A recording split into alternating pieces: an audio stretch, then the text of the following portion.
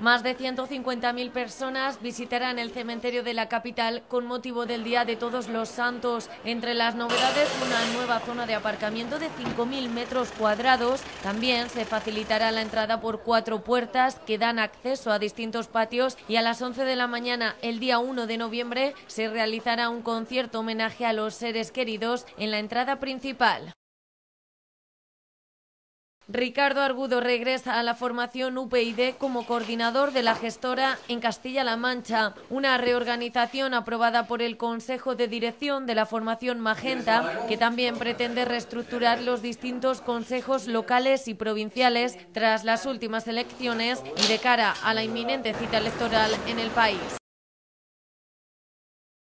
Los cerca de 20.000 castellano-manchegos que sufren daño cerebral adquirido reclaman medidas urgentes para garantizar una vida digna a los enfermos. Ha sido la viuda de uno de los afectados por esta enfermedad quien ha pedido ayuda a las instituciones públicamente en el Día Nacional del Daño Cerebral. Hace falta visibilizar, dice la enfermedad, y luchar por su tratamiento, líneas de ayuda para afectados directos y también para sus familiares.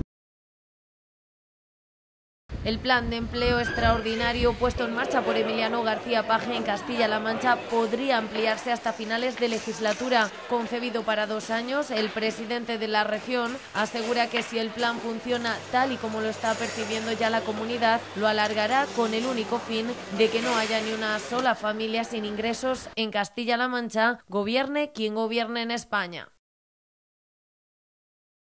Echa a andar el primer tren de alta velocidad dotado de conectividad Wi-Fi. Telefónica es el socio tecnológico que Renfe ha elegido para desarrollar el proyecto Wi-Fi más que va a permitir el acceso a Internet de los pasajeros a bordo y en estaciones de cercanías. Ya está en marcha la primera fase de suministro, instalación y mantenimiento de la actual flota de 89 trenes AVE y 20 estaciones.